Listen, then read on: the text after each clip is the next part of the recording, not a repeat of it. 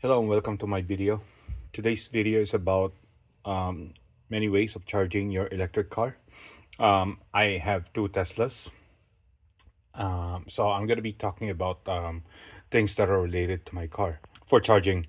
But um, I wanted to uh, point out that nowadays, whenever you purchase a brand new Tesla, it only comes with a um, uh, an adapter that allows you to plug into a J1772 but it doesn't come with something like this.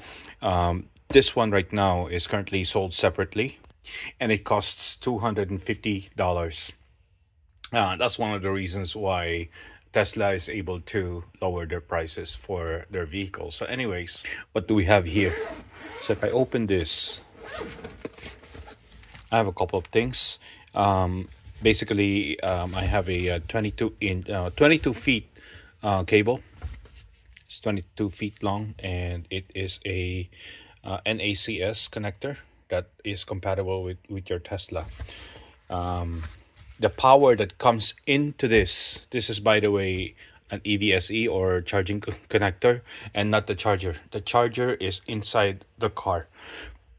Anyways it has two ways to draw power one is this one, which, which is the J7 um, uh, NEMA uh, 1450. Then this one here is your regular 120 volt. This is 240. So if you if your um, if your connector is connected to a 240 volt uh, connector or a wall outlet, you're gonna be charging faster. This one here is a little bit slow but you know it's consistent.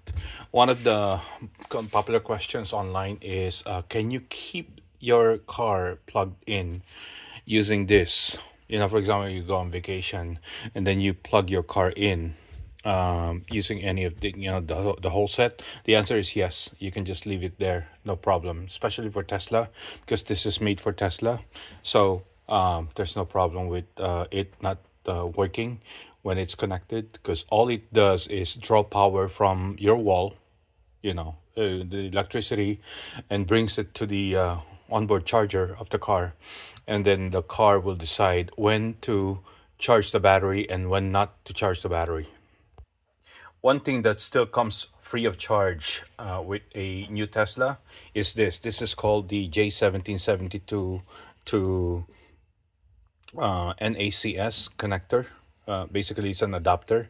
It allows you to charge your tesla which is this side using the traditional uh, j1772 uh, that was popular you know in the uh, before 2000 i think before tesla became popular. So uh, now tesla is becoming more and more popular for charging because there's so many superchargers anyways you use this when you have a connector like this. So this is your adapter right here and this is your j1772 sorry.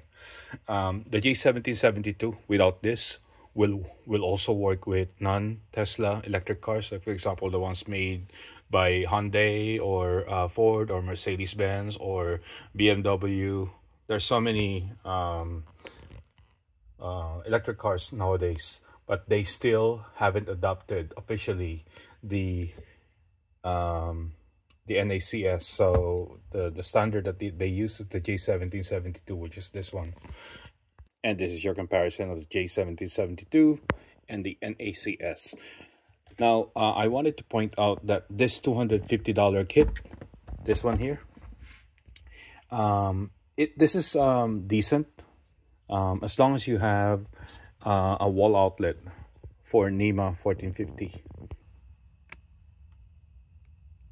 For a Tesla Model 3 or Model Y, um, if um, you're charging using this, it takes about, uh, it gives you about 30 miles of charge of driving range every uh, every hour, so 30 uh, miles per hour. Um, and this is sufficient for um, most owners but uh, other owners they prefer faster charging because you know they use their cars often and i can understand that. So um, they use uh, level 2 which i'm going to talk about shortly. Now if you have this this is the um, your regular household outlet you can use this to plug to your wall. I think you can also use uh, a regular extension cord cord but um, i prefer not to use uh, extension cord whenever i charge using this. Uh, you know it's for safety reason. Uh, i could be wrong i'd rather be safe. Um, the other thing is that if this is this is slow it gives you oh maybe about uh, uh, five or ten uh, miles uh, per hour of charge. So it's gonna take forever to charge your uh, electric car because the electric car is a big battery. If you need to charge up that big battery it takes a long time. Also if you are plugged in like this you're gonna be using um, even if you have an electric uh, plan at home um, where you know you the the what's this? The rate per kilowatt hour is lower at specific times of the night. You're going to be needing to get plugged in to this the whole time entire time even if the um, even during peak hours. So it's best to use this one. So by the time so you can time your your charge only when the electricity is a lot cheaper. So that is for the um, level 2 this uh, maybe this level 2 but this is um, a lower rate uh, lower amperage. That's about for this um, kit. This kit came with my 2018 tesla model 3 nowadays it doesn't come with any new Teslas. You have to buy them separately for about $250 uh, plus tax. So that's still a good deal. Uh, and I highly recommend that uh, you, you have at least this because um, it's good when, when traveling. Uh, for example, we recently went to Las Vegas, and in the parking lot, I was able to find a um, a um, an outlet for this. So I was I, I was charging free of charge, free of charge, no pun intended uh, while we were sleeping because um, it's in the parking lot. Um, but you know that's personal preference. Now I have another way. Uh, it's right there. This is the bag. Let me flip, flip it over real quick.